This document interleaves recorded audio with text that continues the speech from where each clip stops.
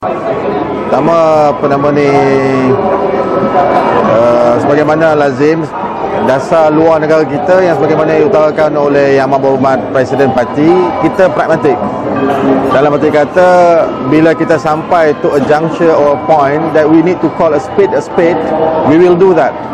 Dan dalam soal isu pemindahan uh, Jerusalem untuk dijadikan ibu negara uh, Israel sebagaimana yang dibuat keputusan oleh kerajaan Amerika Syarikat. Secara unilateral uh, pendirian negara kita tegas dan kita dah nyatakan bahawa kita menolak malahan kita membantah.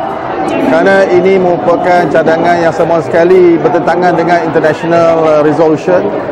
Uh, United Nations Security Council resolution malahan uh, apa nama pelbagai resolusi yang lain.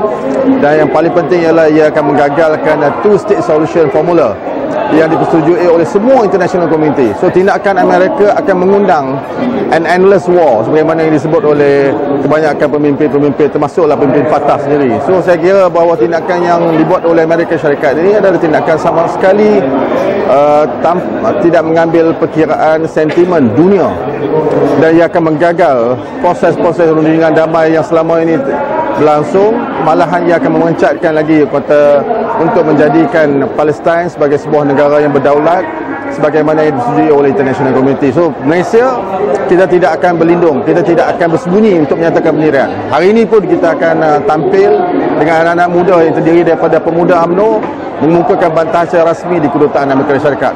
Itu juga merupakan pendirian posisi bukan hanya kerajaan tapi parti UMNO yang selama ini kita tidak pernah berselindung when it comes to about the issue of Palestine.